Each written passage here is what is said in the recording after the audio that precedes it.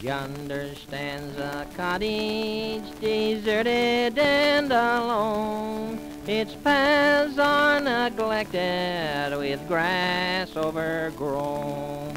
Go in and you will see some dark stains on the floor.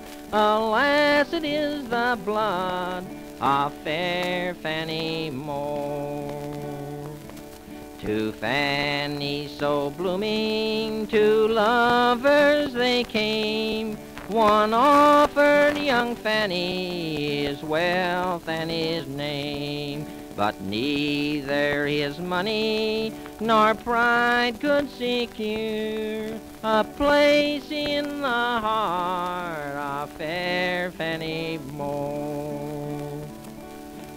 first was young Randall, so bold and so proud, who to the fair Fannie his haughty head bowed. But his wealth and his house both failed to allure the heart from the bosom of fair Fannie Moore. The next was young Henry of lowest degree. He won her fond love, and enraptured was he. And then at the altar he quickly did secure the hand with the heart of fair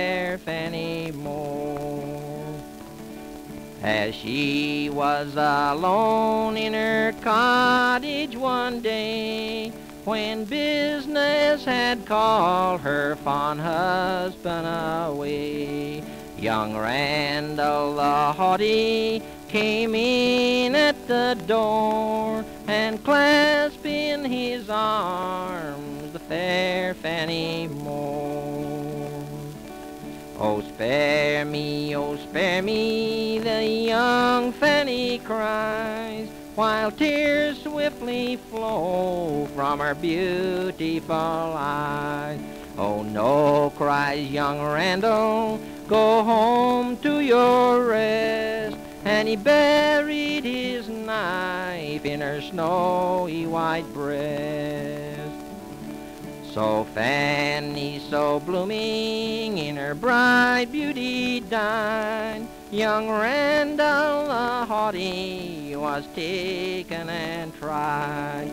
At length he was hung on a tree at the door for shedding the blood of fair Fannie Moore. Young Henry the shepherd, distracted and wild, did wander away from his own native isle, till at length, claimed by death, he was brought to this shore, and laid by the side of fair Fannie Moore.